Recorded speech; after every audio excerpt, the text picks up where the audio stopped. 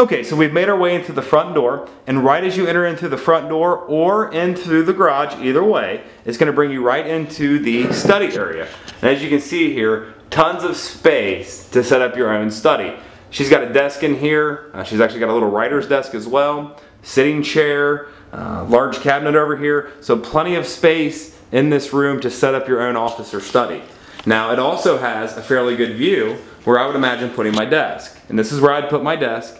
And as you can see, it has a view right out into the terrace where the hammock is at. So absolutely peaceful view that direction. The floors in here is an inlaid hardwood scraped uh, flooring. These are absolutely a upgraded floor, uh, and you'll definitely be able to tell that when you get in here. They're very unique. Little storage area there under the steps. You've got this really nice metal handrail going up, hardwood steps as well. Now, we're going to take these steps up to the top. This is going to take us up to the main living area where we're going to run into the kitchen, the great room, guest bath, as well as a pantry. And you also have a deck up here. I'm going to meet you at the top of the steps.